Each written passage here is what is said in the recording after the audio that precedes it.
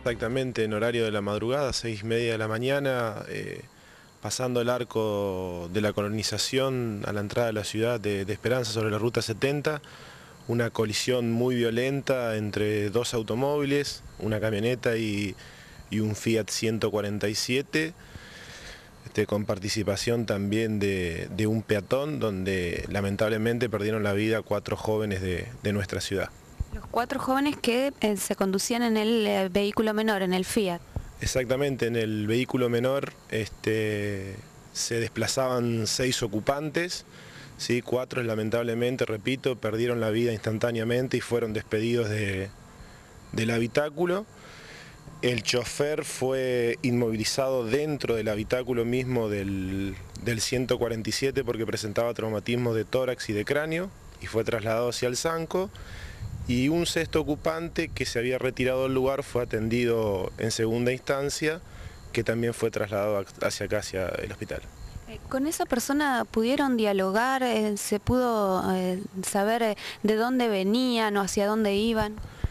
Eh, con el que hemos dialogado es con el chico que fue atendido en segunda instancia, el que se separó del, del momento, del, del lugar del accidente, pero debido por ahí al estado de shock que él presentaba, este, teniendo en cuenta que, también aparentemente era familiar de una de las víctimas, el diálogo con él había sido muy confuso, entonces no nos daba bien precisiones de, de lo que necesitábamos en sí, de lo que había ocurrido.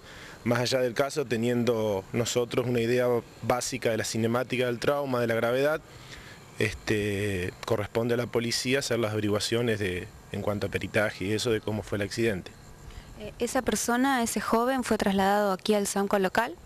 Exactamente, aquí se trasladaron tres personas. El primero en ser trasladado es el peatón, que se encontraba más o menos unos 100 metros antes de donde estaban los vehículos y los cuerpos. ¿Él resultó con lesiones el peatón? El peatón sí resultó con lesiones leves, a predominio en, en el tórax, fue controlado aquí en guardia con radiografía y se le dio el alta, aparentemente un chico de unos 14 años. Después el chofer del, del 147 fue trasladado a una asistencia respiratoria mecánica hacia el hospital Cuyen con un traumatismo de cráneo, de tórax grave, que actualmente, por lo que me han informado, se encuentra en la terapia del hospital a esta hora de la noche. Y el tercer, eh, el tercer accidentado, el chico que se había retirado del lugar, fue trasladado hacia Calzanco, se le hizo radiografías donde se constató un traumatismo de hombro y debido a su diálogo confuso se lo trasladó al hospital Cuyen, se le realizó tomografía y vino otra vez a- hacia el Zanco. ¿Sigue internado por estas horas?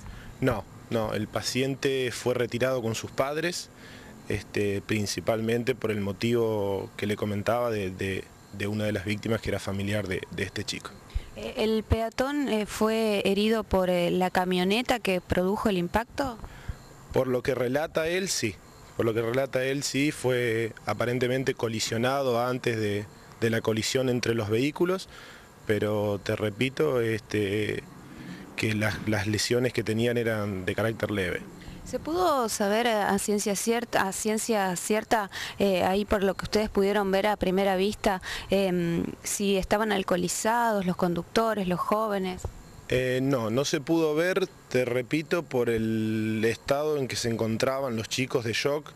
Entonces uno a simple clínica no puede determinar si, si existía con, eh, con certeza grado de alcoholismo en ello o no. Hay que tener en cuenta que el chofer del, del automóvil este, tenía también un diálogo confuso, una excitación psicomotriz, pero uno no sabe si es producto del traumatismo de cráneo ¿sí? o producto de- del alcohol. Pero teniendo en cuenta las lesiones y la cinemática, lo que uno tiene que pensar primero es que es un traumatismo de cráneo lo que produce el diálogo confuso en ese paciente. Eh, Obviamente ninguno llevaba el cinturón de seguridad porque los chicos fallecidos fueron despedidos del vehículo. Sí, aparentemente no, no estaban con las medidas de seguridad, eh, principalmente porque no alcanzan en un auto cinturón de seguridad para seis pacientes, para seis ocupantes, perdón. Y cuando nosotros inmovilizamos al chofer del, del 147 no, no tenía las medidas de seguridad básicas en- en- en- ese momento.